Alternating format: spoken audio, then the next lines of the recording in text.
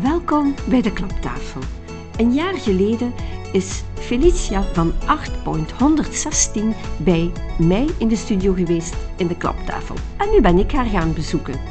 Zij heeft een open atelier waar je kan praten over kunst, kunststukken kunt bezichtigen en natuurlijk aankopen. Je kan er privélessen volgen om te tekenen. Ze haalt echt de kunstenaar uit jou naar boven. Ze geeft de perfecte coaching. Ook kinderen kunnen terecht bij haar die interesse hebben in tekenen. Ook geeft zij workshops. Je komt er echt tot rust. Je kan werken met allerlei kleuren en materialen, wat ze piekfijn uitlegt.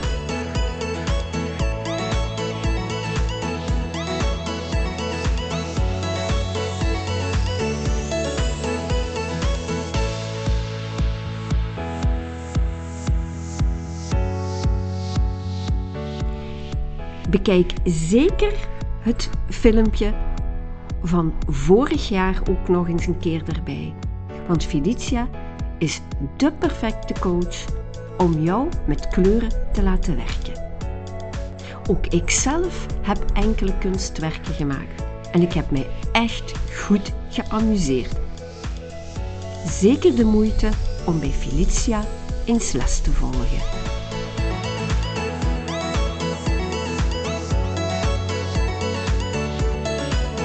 Openingsuren zijn dinsdag en donderdag van 12 tot 5 en zondag op afspraak.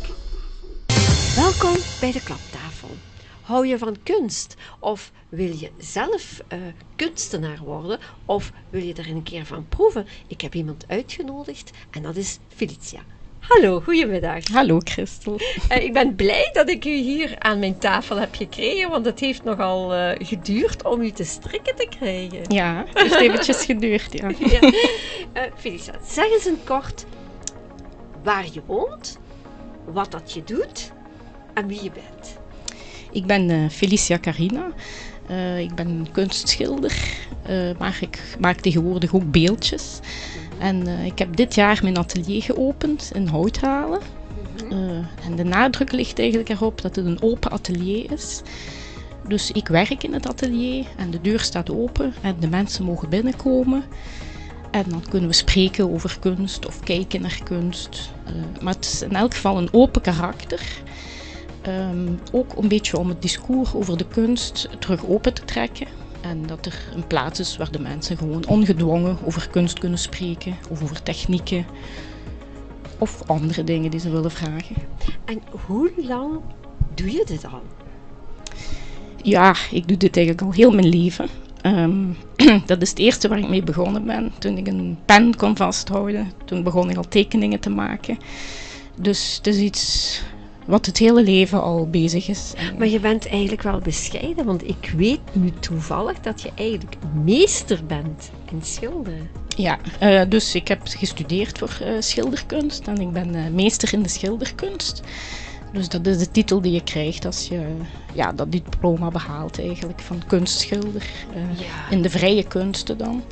Ja, dan heb je ook nog, uh, dat heb je mij in het voorgesprekje gezegd, dan heb je ook nog de lerarenopleiding gevolgd. Ja, die heb ik ook nog gevolgd. Ja. Dus je kan eigenlijk ook effectief lesgeven in schilderen.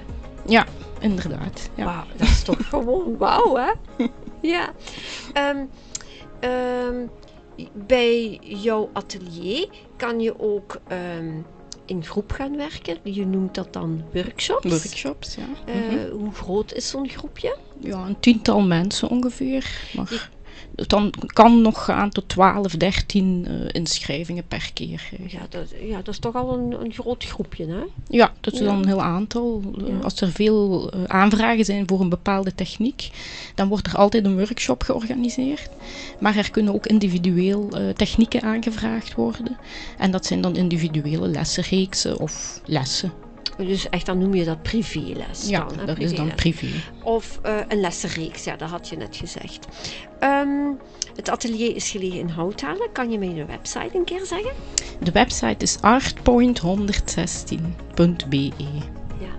En je hebt ook een Facebook, Eh, denk ik? Of, ja, niet? er of is, eh, privé? ook een Facebook. Dat Ja. is eigenlijk een, een open groep waar mensen eh, die geïnteresseerd zijn in kunst iets over kunst daarop mogen plaatsen. Maar ze mogen ook altijd hun eigen werk plaatsen of andere dingen tonen gewoon die ze leuk Mooi. vinden.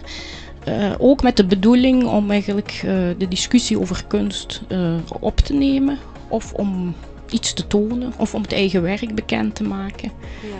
Dus, dus open voor iedereen. Nu ga ik een heel stoute vraag stellen en ik zie u al. Hè. Is het zo dat, ik weet dat je Italiaanse bent, is het, is het ook zo dat iedere kunstenaar gelijk wat een klein beetje pokolokko is? Of mag ik zeggen dat die. ik heb het misschien, misschien verkeerd uitgedrukt. Eh, Nee, nee, dat het is goed uitgedrukt.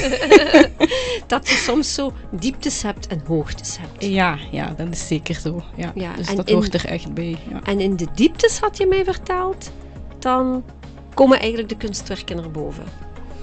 Het is in de moeilijke periodes dat, dat de mens eigenlijk geraakt wordt. En ja, ergens eh, een beeld gaat vastzetten in, in het kunstenaarsgeheugen, zal ik maar zeggen. En gaat op een bepaalde manier verwerken. Om het daarna in een iets betere periode waarschijnlijk uit te gaan werken. Vind ik zo mooi gezegd. Ik vind dat echt mooi gezegd. Want ehm, ik ben ook wel een grote fan van Salvatore Dali. En als je die zijn werkje bekijkt, dan, dan denk je ook zo van... ah, er is een ei en er komt zo van alles uit dat ei. En er zijn eigenlijk geen mooie dingen die, die eruit komen. Dus dan zal dat zijn verwerkingsproces dan zijn. Hè. Ja. Het lijkt een beetje op dromen. Die, Ja, ah, die werken ja. van eh, Dali eigenlijk. Ja. Ja, dus een, een verbeelding van de dromen. Ehm, je stelt ook, eh, als ik bij jou in het atelier kom, stel, staan daar ook jouw werken die je kan kijk, bekijken, maar je kan die ook kopen.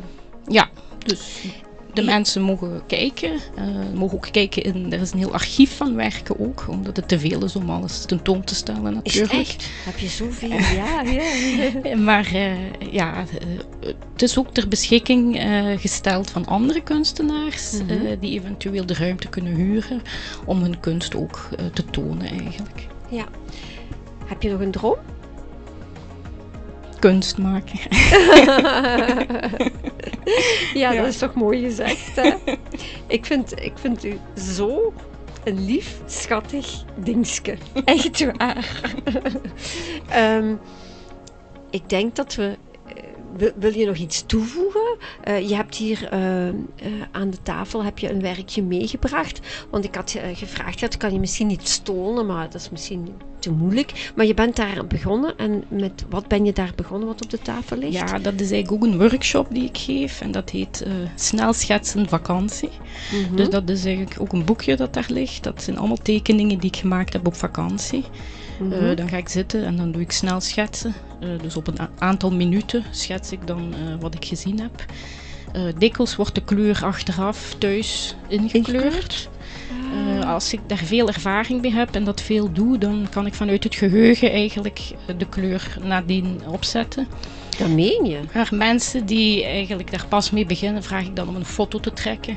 En dan kan dan achteraf eh, aan de hand van de foto de kleur nog opgeroepen worden. Ja, want dat, vind ik, dat vind ik persoonlijk altijd eh, het moeilijkste.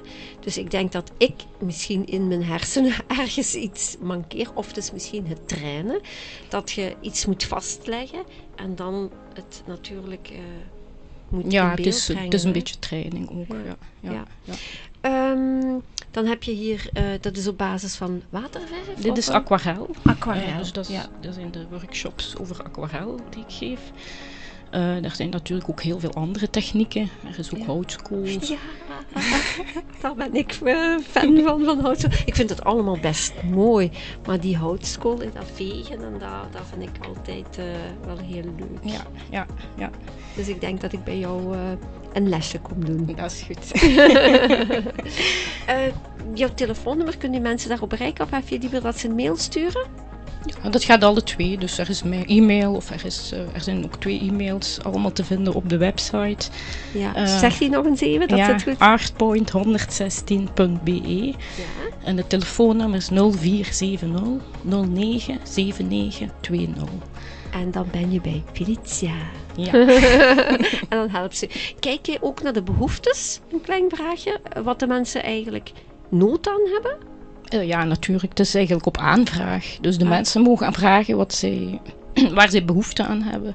Dus elke techniek uh, ja, die met te maken heeft met, met deze kunstzinnige dingen, mm -hmm. uh, die kan aangevraagd worden. Iemand ja. die niet kan tekenen. Ja, je die ik kan ook tekenen? mensen leren tekenen via Oh. bepaalde technieken en bepaalde. Maar er is natuurlijk wel oefening nodig. Ja, Ja. dat is bij alles zo. Ja, ja. Ehm, ik vond het, eh, ik wil u dank u wel zeggen, ik vond het heel interessant. Hele mooie werkjes. En ik ga zeker bij u langskomen. Dank je wel.